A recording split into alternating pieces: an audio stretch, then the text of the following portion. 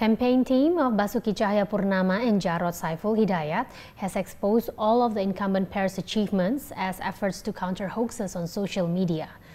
Basuki Djarot campaign spokesperson Clara Tampu Bolon says the team has its own strategy in countering many hoaxes on the internet. The team has strengthened its social media content by posting various achievements of both Basuki and his running mate Djarot in governing the capital. Clara has also posted several impromptu visits conducted by the pair and avoid the use of defensive words on social media.